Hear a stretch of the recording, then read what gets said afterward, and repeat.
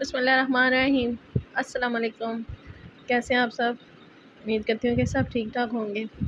आज मैं आपके लिए रेसिपी लेके आई हूँ, वो है चिकन बोनलेस कढ़ाई। तकरीबन 500 ग्राम ये मैंने बोनलेस लिया था और इसको ये मैंने बनाया है। तो आज मैं आपको ये सारी चीज़ें बताती हूँ। ये चिकन जो है वो सारा बोनलेस है। ये मैंने धो के रख लिया था।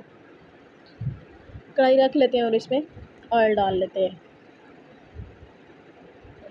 ऑयल इसमें तकरीबन हंसपे ज़रूरत आपने जैसे डालना है, आप वैसे डालें मैंने इसमें। दो से अढ़ाई चम्मच इसमें ऑयल डाला है।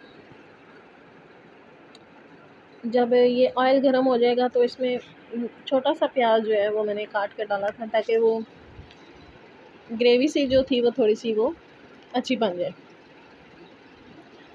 तो प्याज को हम गोल्डन ब्राउन कर लेते हैं। जब ये ब्राउन हो जाएगा तो इसमें मैंने चिकन ऐड करना है। ये देखें।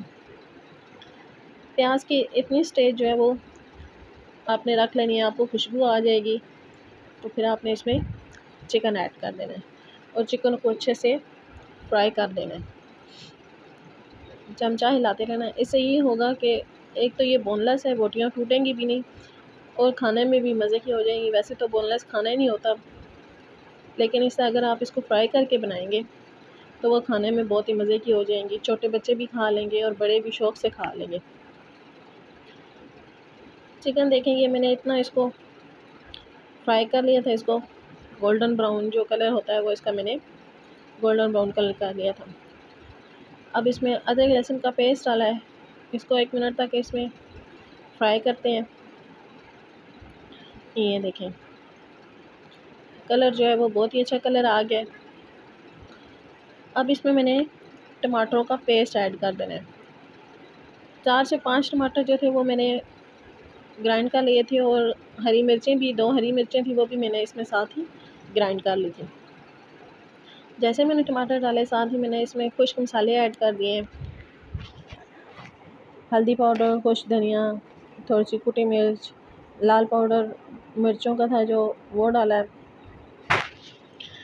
खुश्क धनिया डाल दिया था और नमक डाल दिया था।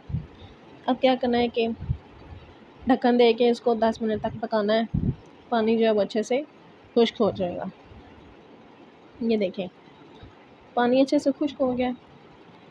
अब इसको अच्छे से दोबारा से हम इसको भून लेते हैं ताकि मसाले जो है वो भी अच्छे से भुन जाए। ये देखें थोड़ा सा प्याज डाला था और टमाटर मैंने ज़्यादा डाले थे। इससे ये था कि ग्रेवी अच्छी बन गई थी। अब इसमें मैंने एक चम्मच इसमें दही ऐड कर दिया था। अब इसको अच्छे से मिक्स कर लेना है और इसको अच्छे से दही में भून लेना है। आपको मेरी वीडियोस कैसी लगती हैं? आप मुझे कमेंट्स करके बताया करें और मुझे बताया करें कमेंट्स किया करें, वीडियोस को लाइक किया करें, शेयर किया करें और मेरे चैनल को सब्सक्राइब करें। अब ये देखें, सालन हमारा जो है वो रेडी हो चुका है। अब इसमें मैं थोड़ा सा गरम मसाला और थोड़ा सा इसमें ज़ीरा डाल दूँगी। ये देखें, खुशबू जो है इससे बहुत ही मज़े की खुशबू हो जाएगी। अब इसमें मैंने हरा धनिया डाल देना है थोड़ा सा। जो कि इसकी खूबसूरती को और ही चार चाँद लगा देगा। आप भी ऐसे ही बनाएँ, चिकन का बनाएँ, बीफ का बनाएँ, मटन का बनाएँ, बहुत ही मज़े का बनेगा। और सब घर वालों को खिलाएँ।